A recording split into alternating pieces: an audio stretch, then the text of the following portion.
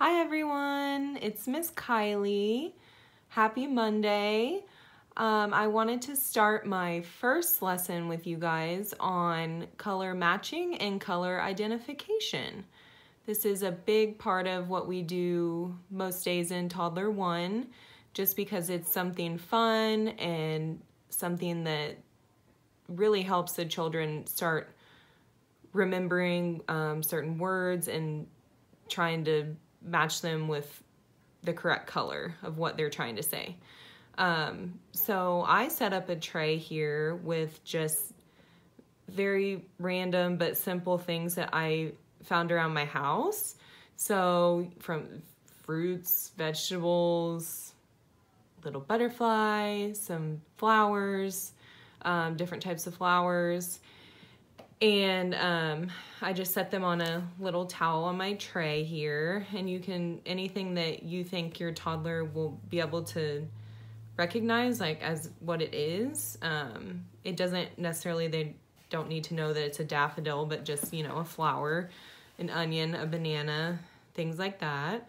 Um, and then something else that I just kind of have laying around that I thought would be fun are these little paint chips, which I'm sure some of you have repainted a room and you have um, some paint chips laying around, but these are really helpful for um, object to picture or color uh, matching.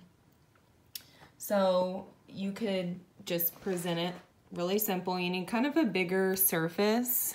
So I'm using this metal desk here. Um, and it's helpful to start, especially with toddlers, with just like maybe even one or two colors at a time. So you could, what with whatever colors that you have, um, you could just set out. So here's some pink and green. And you can just kind of set them out here. Um, and you can talk about how each color has different shades in it, so it could be a darker green, it could be a lighter pink, um, and have them kind of pick whatever object they think would match on the color. So I think that I'm gonna start with the orange because we do that in our food work um, practical life all the time during class. So you could just have them pick it up and it's helpful too to just have them feel it, to look at it, to get acquainted with the object and you can talk about how, you know, this is this is an orange. Um, you can talk about do you think that the orange matches the green? Hmm. Does orange match pink? Hmm. Let's see. Let's try a different object from our tray. Let's see. What about the broccoli? Hmm. And have them feel it and touch it. Obviously won't be eating these I wonder if this would go here. Does this piece of broccoli look like it matches green? I think it does. Another fun thing that you can do to make this more challenging is have objects that match the different shades of this color. Right now I'm just going to keep it simple. Let's see what other objects we have. Hmm. Let's see. Piece of celery. We eat this a lot. Hmm. I wonder if this matches with the pink paint chip. I don't know. Let's see, does it match with green? I think it does. We could put this over on the light green.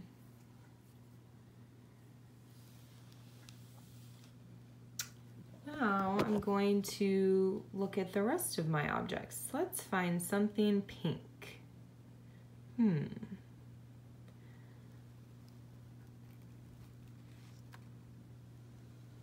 This pretty flower.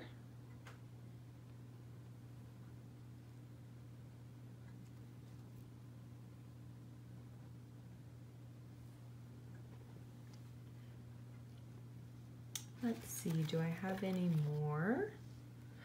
Ooh, I have a light pink flower. These can match my paint or my pink paint chips. Now let's try some different colors.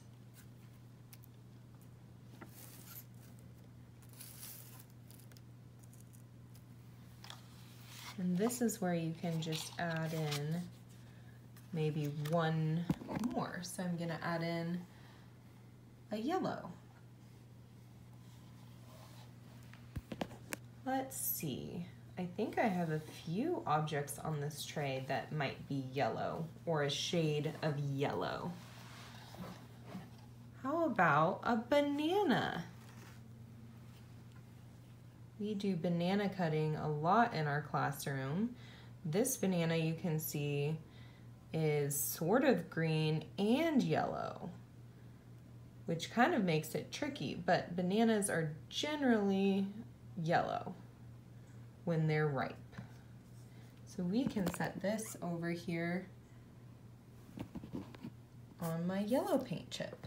And you can see at the top it's more green and in the middle it's a little bit more yellow.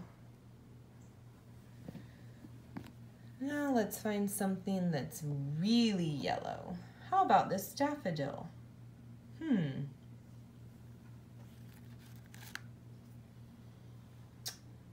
This pretty daffodil. I think that this would match my yellow paint chip as well.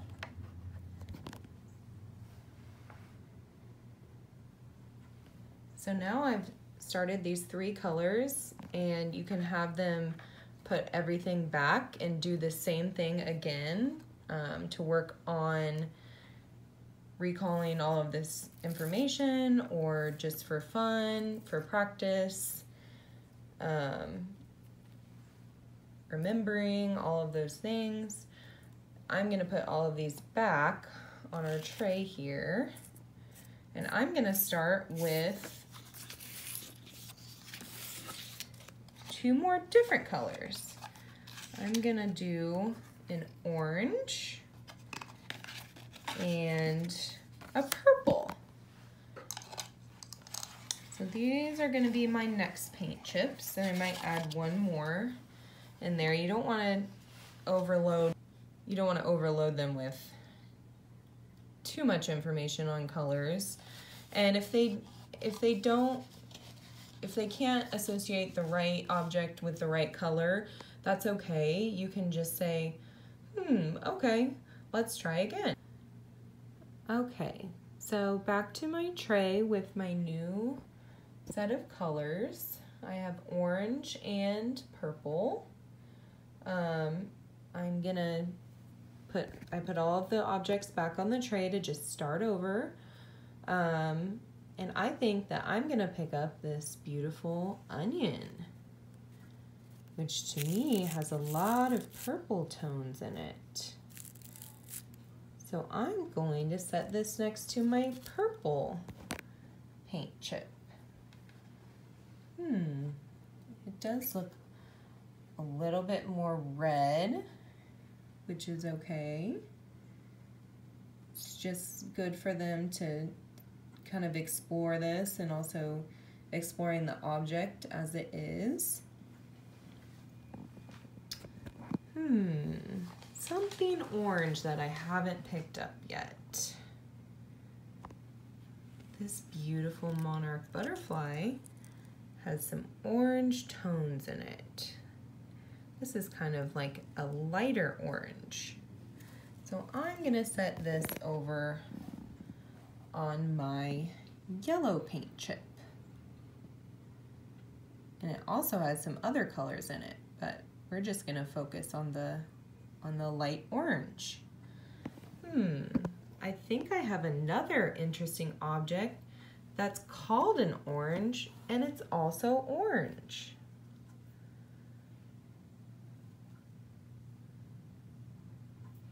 I'm gonna set this on my darker orange paint chip.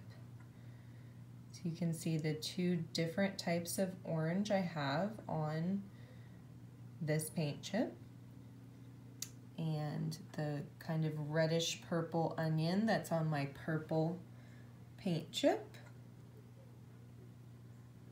Hmm, I have some more objects on my tray, so I think I'm going to add my last paint chip color that we want to focus on today, which is blue. Here is my blue paint chip with some beautiful dark blue and some lighter blue. Hmm, I'm gonna look at some objects on my tray here and see which object I think might be match some blue. Hmm, this pretty hydrangea flower looks like it would go on my blue paint chip. So we have blue, purple, or violet. That's also, you can also call it violet, orange,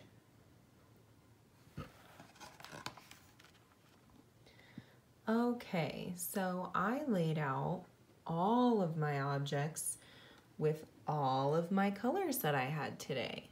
So we're gonna go through them together. We have blue, purple or violet, orange, yellow, green, and pink. Now we can go through it this way. We can go backwards. We have pink, green, yellow, orange, purple or violet, blue. And if you lay them out this way, spaced out, it really helps them see um, the, the difference in each colors and how there's lots of objects with different tones of each color. Oh, there we go. And another way that you can do this um, would be to have some clothespins with a piece of the cutout paint chip and then glue it to the end of the clothespin um, and then have the clothespin um, in a basket and then you can clamp them to the correct color um, on the paint chip, which is fun. And I will upload a video of myself doing that as well. I just thought that this would be a fun way um, to just use some objects around your home, have them get familiar with the object and the color of it because this really helps with vocabulary, recognition, um, especially just because um, we use these things, a lot of these things every day, or we see them in our lunch, um, outside, growing in the ground, flying, things like that. So thank you guys for joining me. Um, I'm gonna upload some different um, color matching worksheets and things to go along with this. So thank you guys. See you soon.